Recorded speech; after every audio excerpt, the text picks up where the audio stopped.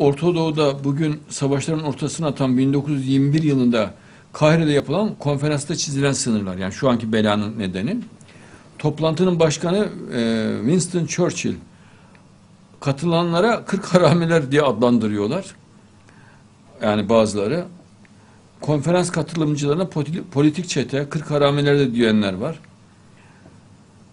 E, tamamı İngiliz olan bu adamlar arasında İngiliz casuslar Gertrude Bell, Thomas Edward Law- Lawrence, e, bunların yerel müttefikleri Cafer el Askeri, e,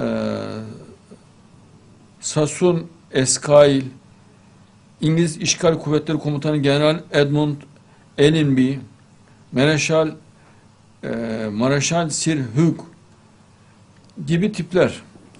Bunun resmi var mı sizde? Evet var. Var.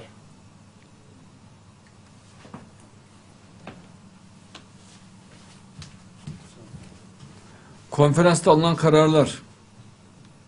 Bak hepsi orada görüyor musunuz? İngiliz kadın ajan Gertrude Bell, İngiliz ajan Lawrence, İngiltere Başbakanı Winston Churchill beraberler.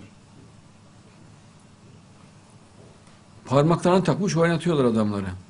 Bu fotoğrafta da İngiltere İçişleri Bakanı Herbert Samuel, İngiltere Başbakanı Winston Churchill ile beraber, İngiliz ajanı Lawrence aynı fotoğrafta ve İngiliz kadın ajan Gertrude Bell aynı fotoğrafta.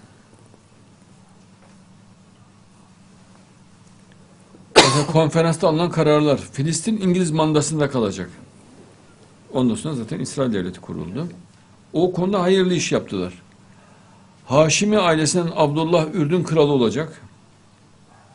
Haşimi ailesinden Faysal Irak kralı olacak.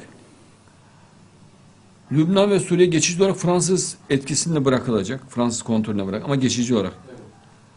Mekke Şerifi Hüseyin Hicaz bölgesini İbn Suud ailesi Arap Yarımadası'nı Necd'i kontrol edecek ve her ikisi de İngiltere'den para yardım almaya devam edecek. İngiliz Hava Kuvvetleri tüm bölgenin güvenliğinden sorumlu olacak. Bu görev doğrultusunda o zaman binlerce yerleşim alanı bombalandı İngilizler tarafından. On binlerce Müslüman şehit edildi. Bu ülkelerin bugünkü sınırları bu toplantıda çiziliyor. İngilizlerin devleti tarafından.